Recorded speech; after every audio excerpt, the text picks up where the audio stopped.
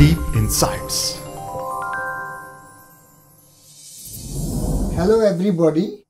Aj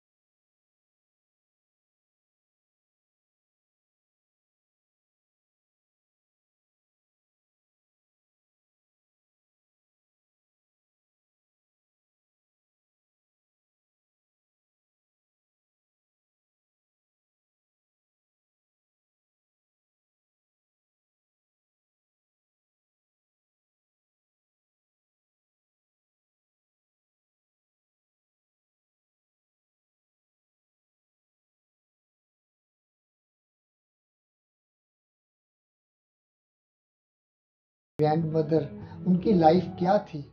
तो वो वही वही चीज़ें कहेंगे कि मेरे पियर्स को ये प्रॉब्लम आया था, ये प्रॉब्लम आया था। फिर उन्होंने कैसे उसको पार किया?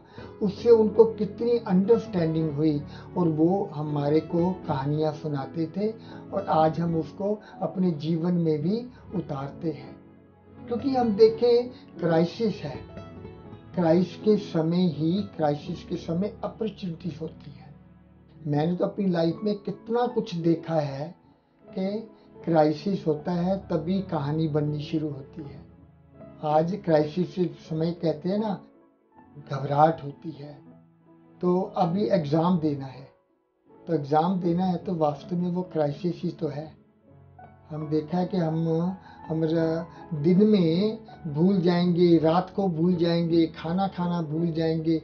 वो लास्ट के एग्ज़ाम के दिनों में कितनी मेहनत करते हैं। तो वो क्राइसिस है ना। लेकिन वो थोड़े दिनों में हम इतना अच्छी पढ़ाई करते हैं कि हम एग्ज़ाम भी पास कर लेते हैं।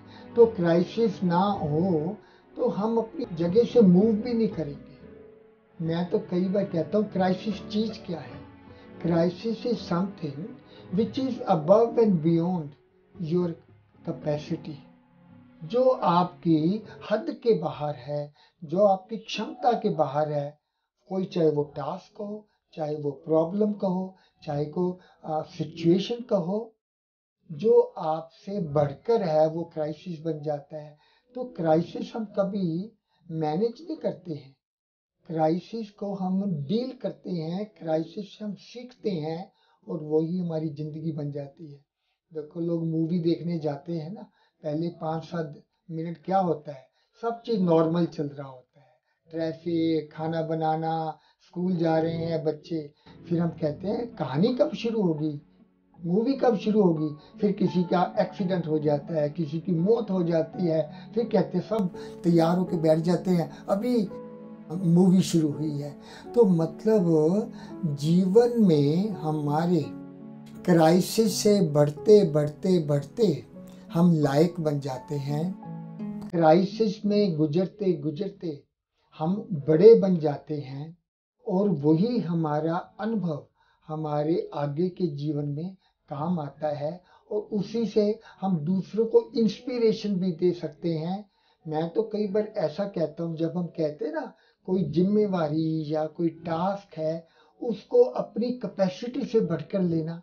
तो हम, अगर हमारे जीवन में कोई क्राइसिस नहीं है तो उसको डिज़ाइन कर लो। पॉजिटिव क्राइसिस वो क्या है? जितनी आपकी कैपेसिटी है, उससे बड़ा टास्क अपने हाथ में ले लो। हमने देखा है कि ज़िंदगी में अगर जितनी हमारी कैपेसिटी है, उतना ही अगर हम काम करेंगे ना, वो तो एक लाइफ बड़ी नॉर्मल सी लाइफ है। उसमें तो कुछ कोई नई, नवीनता नहीं है, उसमें कुछ सीखना नहीं है, और वास्तव में वो तो बड़ी बोरिंग लाइफ होती है। वो तो जैसे ना तो मेरे को जॉब मेंटेन करने के लिए ये करना पड़ता है रिलेशनशिप मेंटेन करने के लिए ये करना पड़ता है, बस हम सिर्फ़ लाइफ को मेंटेन ही कर रहे हैं। लेकिन हमारी ग्रोथ कब होगी? हमको खुशी कब मिलेगी? तो वो खुशी कब मिलेगी? जितनी क्षमता है, उससे बड़ा टास्क लो। और जब बड़ा टास्क लेंगे अननोन टेरिटरी में जाएँगे तो अननोन टेरिटरी में कहते हैं ना, जहाँ क्राइसिस है, वहीं अपॉर्चुनिटी है। जहाँ फियर है, वहीं पर ही करेज है। जहाँ अनसर्टनटी है, वहीं हमारा फेथ काम आता है। तो माना हमारी जो इनर रिसोर्सेज काम में तभी आते हैं, जब एक्सटर्नल रिसोर्सेज हमारे डाउन होते हैं, या ख़त्म हो जाते हैं, या चैलेंजिंग होते हैं उसी समय हम, हमारी जो इनर एबिलिटीज़ हैं, हमारी जो इनर रिसोर्सेज हैं, जैसे लव हैप्पीनेस एक्सेप्ट करना हमको और अपने में ये हिम्मत करना तभी हम कहते हैं भगवान को भी याद हम तभी करते हैं तो जब क्राइसिस आता है।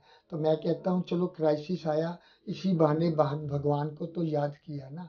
इसी बहाने हमारे में ह्यूमिलिटी भी आई ना। इसी बहाने हमको सीखने का भी मिले।